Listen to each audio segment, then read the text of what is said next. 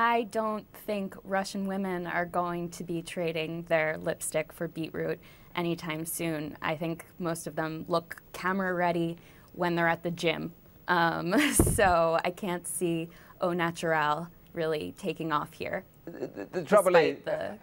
I know we can sort of look at a quote like that and, and smile, but, but it, underlying that, it, it just shows you because there are vast economics at play here, but bit by bit, how much of this is creeping in to the everyday lives of, of ordinary people there?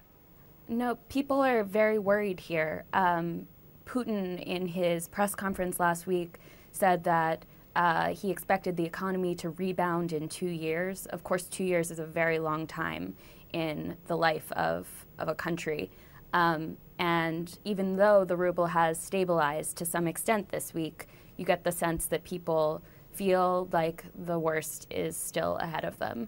Um, they are going to the stores, buying up electronics. Um, there are crowds in M-Video, the major electronics store, at 1 in the morning, and in IKEA, buying everything at the old price before um, inflation kicks in and prices start going up. There are uh, currency tourists coming from Finland and Belarus to take advantage of and, the and we know that the ruble has almost gone through the floor, the value of it. Uh, I think I'm right in saying that you get paid in, in dollars. Does that mean that you are immune from this? So, what about the people that you know who are paid in rubles?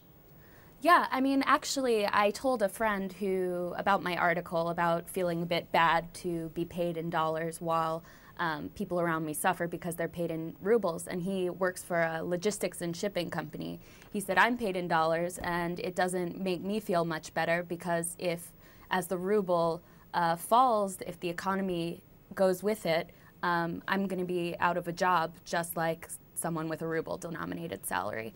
Um, so